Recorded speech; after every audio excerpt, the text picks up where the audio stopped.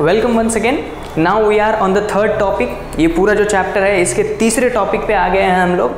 And the third topic is anomalous behaviour of water and Hope's apparatus. Okay what is anomalous behavior of water and hopes apparatus? This is what we are going to study in this module. Okay.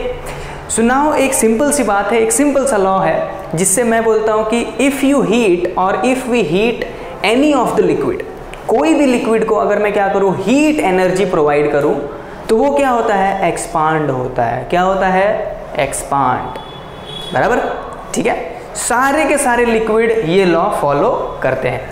Each and every liquid will follow the same logic will follow the same law that is after gaining heat they will expand समझ में आया?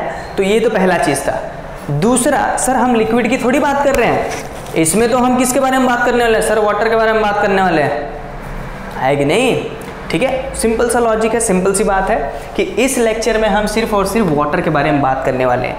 ठीक है? सारे के सारे liquid को जब आप हीट एनर्जी प्रोवाइड करोगे, ठीक है? तो वो क्या होते हैं? कि एक्सपांड होते हैं।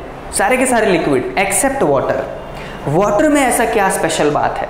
ठीक है? ये वाटर का अलग behaviour that is nothing but anomalous behaviour of water there is something very strange going on with water water के साथ थोड़ा स्ट्रेंज चीज़ होता है that is nothing but anomalous behaviour of water क्या होता है वो बताता हूँ। जब हम वाटर को, ठीक है, जब हम वाटर को ज़ीरो से फोर डिग्री सेल्सियस तक हीट करोगे, कहाँ से? Zero degree Celsius to four degree Celsius तक। उसको हीट एनर्जी अगर प्रोवाइड करेंगे तो भाई साहब, उसको एक्सपांड होने के बजाय वो कॉन्ट्रैक्ट होता है। समझ में आ रहा है? क्या होता है? एक्सपांड होने के बजाय कॉन्ट्रैक्ट होता है from where zero degree Celsius to four degree Celsius right अच्छा व्हाट आफ्टर दैट उसके बाद क्या होता है? जब उसका टेम्परेचर चार डिग्री से ज़्यादा बढ़ने लगेगा, तब वो एक्सपांड होना स्टार्ट होता है. So this is all about the anomalous behaviour of water ये है anomalous behaviour of water now इसको स्टडी किसने किया था? This was generally studied by T C Hopes ठीक है?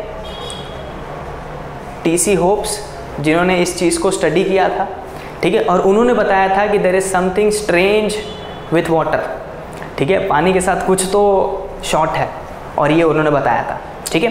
वापस से बता रहा हूँ कि if we heat any liquid तो वो क्या होगा? एक्सपांड होता है। लेकिन वाटर के कंसेप्ट में क्या हो गया? वाटर के बारे में क्या हो गया?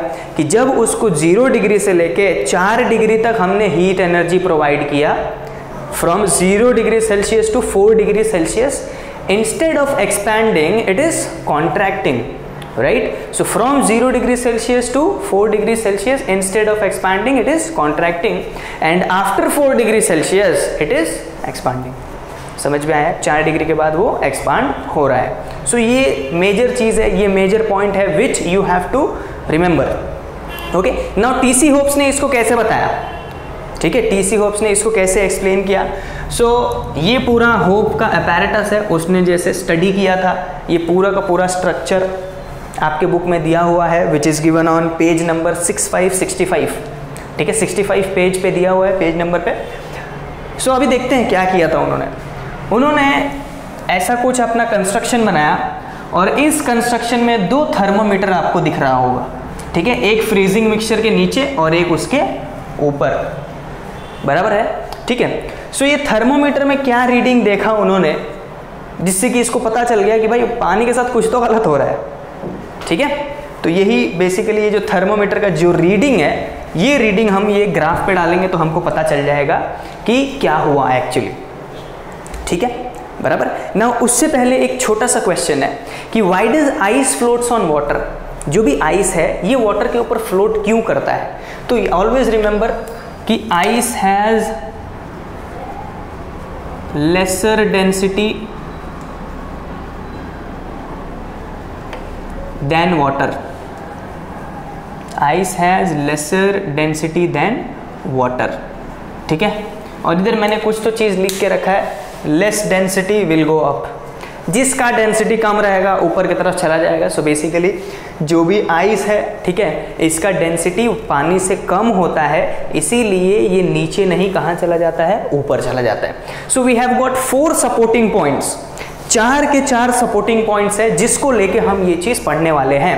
ठीक है, क्या होता है कि सारे के सारे जो भी लिक्विड है, ये फॉलो करेंगे ही। ठीक है they are going to follow the same logic ये चारों के चारों चीज़ फॉलो करते हैं बट वाटर क्या करता है? एक फॉर्मूला ही चेंज कर देगा और देखेंगे कौन सा फॉर्मूला चेंज होगा।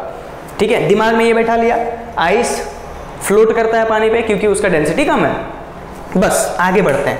नाउ होप ने क्या किया कि this is nothing but your freezing mixture एक सिलिंड्रिकल बीकर लिया, उसमें पानी भरा, ठीक है? और उसके आजू बाजू में फ्रीजिंग मिक्सचर लगा दिया। ठीक है? नाउ अभी क्या हुआ? अभी सिंपल सी बात है, ये जो भी वाटर था इनिशियली इसका टेम्परेचर 12 डिग्री सेल्सियस था। कितना था? 12 डिग्री सेल्सियस इनिशियली स्टार्टिंग में जो भी पानी था, उसका टेम्परेचर वॉज़ 12 डिग्री सेल्सियस ना उसके बाद क्या हो गया? उसके बाद बताता हूँ। सबसे पहले तो ये याद रखना है कि इसका जो फ्रीजिंग मिक्सचर है, इसका टेम्परेचर कितना था? तो इसका टेम्परेचर ज़ीरो डिग्री सेल्सियस रहेगा, उससे भी कम रहेगा। फ्रीजिंग मिक्सचर है ना? ये तो फ्रीज करने वाला है पानी को ना? ठंडा करने वाला है पानी को तो उसका टेम्परेचर ज़ीरो डिग्री रहेगा। सिंपल ठीक है? अभी क्या हुआ?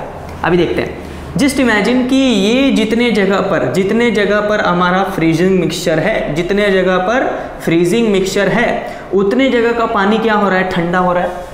राइट है? क्या हो रहा है? ठंडा हो रहा है। अच्छा ठंडा हो रहा है मतलब उसका टेम्परेचर कम हो रहा है।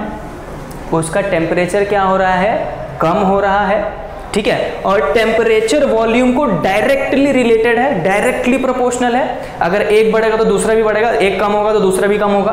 तो सिंपल सी बात है अगर उसका टेम्परेचर कम हो रहा है तो उसका वॉल्यूम भी कम हो रहा है। समझा? टेम्परेचर क्या हो रहा है? कम हो रहा है। फ्रीजिंग मिक्सचर की वजह से यहाँ जितना पानी है, ठीक है? और उसका वॉल्यूम भी कम हो रहा है क्योंकि ये दोनों डायरेक्ट प्रोपोर्शनलिटी में है, ठीक है? उसके बाद क्या होता है? अभी देखो, आपको पता चल गया उसका वॉल्यूम कम हो रहा है, लेकिन वॉल्यूम और डेंसिटी दोनों उल्टा रिलेटेड है। फॉर्मूला आता है ना density is equals to mass के नीचे वॉल्यूम समझ में आया? Density is equals to mass upon volume तो डेंसिटी और वॉल्यूम को देखो ना, दोनों उल्टा रिलेटेड है। अगर एक बढ़ेगा, दूसरा कम होगा। ऑलवेज रिमेंबर ठीक है? तो डेंसिटी क्या हो रहा है? सॉरी वॉल्यूम क्या हो रहा है? जैसे आपने बोला सर टेम्परेचर कम हो रहा है। जैसे टेम्परेचर कम हुआ, उसका वॉल्यूम कम हुआ। जैसे वॉल्यूम कम हुआ डेंसिटी बढ़ गया। समझ में आया? ठीक है? वापस से थोड़ा स्लो जाता हूँ। क्या बोला मैंने? यहाँ का जो भी पानी है, इसका टेम्परेचर कम हुआ। जैसे उसका टेम्परेचर कम हुआ, उसका वॉल्यूम कम हुआ। जैसे उसका वॉल्यूम कम हुआ डेंसिटी बढ़ गया। समझ में आया? सो so, जैसे ही उसका डेंसिटी बढ़ गया तो एक बात बताओ higher density will stay down higher density कहाँ जाएगा? नीचे के तरफ़ जाएगा. नाउ जस्ट इमेजिन जब यहाँ पर पानी ठंडा हो रहा है ठीक है? जब यहाँ पर पानी क्या हो रहा है? ठंडा हो रहा है तो ये कहाँ पर आएगा? नीचे आएगा बराबर है? बट वो कहाँ तक आता है? It will come till four degree Celsius only four degree Celsius तक आएगा. क्योंकि एक लॉ है एक चीज़ है वाटर के बारे में. Water has maximum density water has maximum density at four degree Celsius always remember water का जो मैक्सिमम डेंसिटी है वो कितना है? एट फोर डिग्री सेल्सियस चार डिग्री सेल्सियस पे वाटर का जो डेंसिटी है इट इज़ मैक्सिमम राइट है? ठीक है?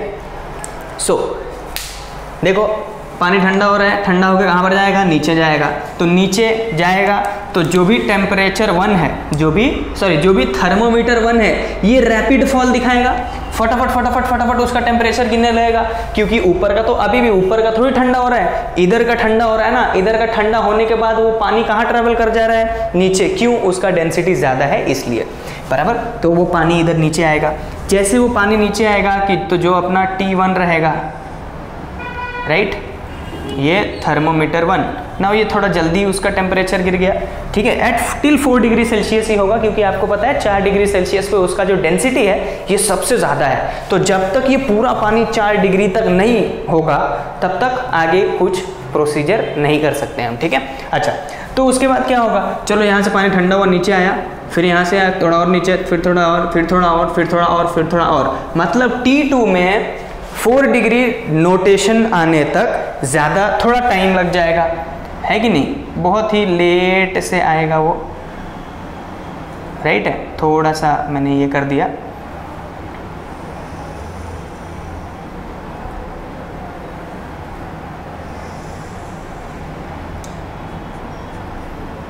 राइट? ठीक है? So this is thermometer two का रीडिंग थर्मामीटर टू के रीडिंग में क्या हुआ इशू कुछ इशू नहीं, हुआ भाई, वो थोड़ा टाइम ले लिया ना, बस। बराबर है? ठीक है। ना इतना तो आपको समझ गया। ये टी टू का रीडिंग है और ये टी वन का रीडिंग है।